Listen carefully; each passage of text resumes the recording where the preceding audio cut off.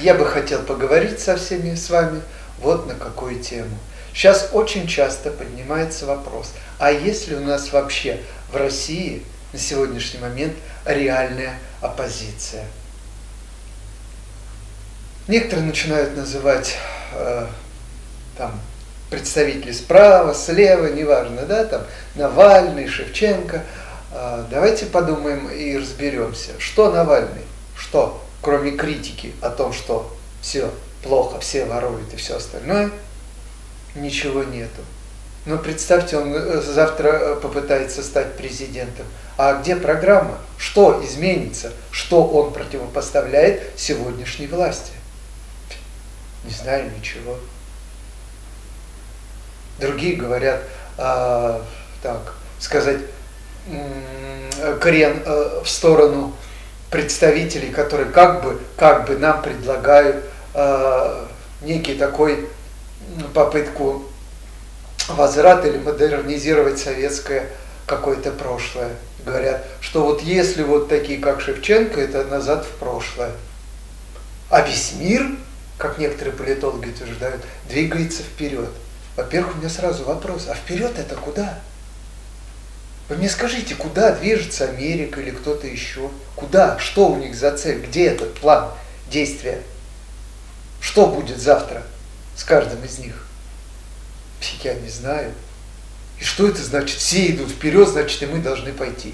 Вы представьте, что вы начинаете входить в лес потихоньку, от, э, отходите, отходите и чувствуете, что вы можете заблудиться. Наверное, вы вернетесь назад, вместо того, чтобы идти и заблудиться окончательно. Знаю. Знаете, у русских есть старая такая пословица у нас, у русских. А, завтра все в колодец будут прыгать, что ты с ними? Почему мы должны идти за кем-то?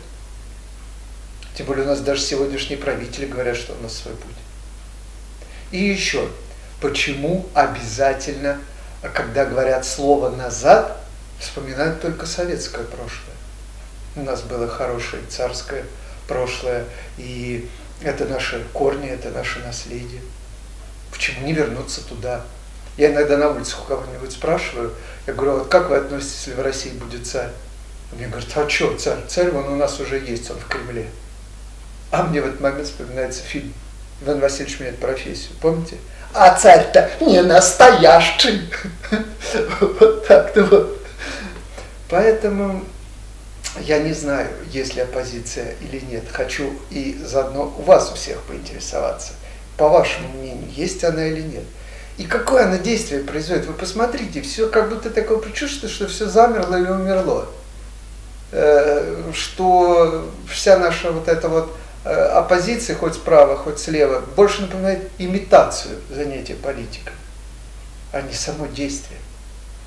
Вы меня извините, конечно, за такое неэфирное слово, но я это называю таким понятием, как политический анонизм. Действие вроде есть, но оно какое-то искусственное, не настоящее. Кто-то скажет о так называемой национал-патриотической оппозиции. Но, к сожалению, отсутствие единства, постоянные какие-то разборки или, извините меня, э, попытка самопиара вместо общего дела приводит к вот таким вот последствиям. Так вот, мне и хочется вам всем задать вопрос, а вы поделитесь э, своими комментариями. Так есть ли у нас оппозиция? И что нам от нее?